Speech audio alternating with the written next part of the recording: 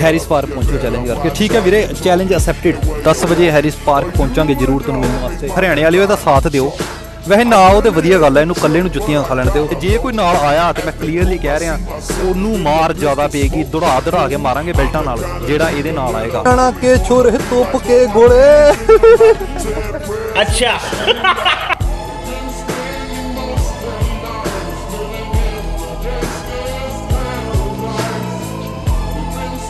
¡Ja,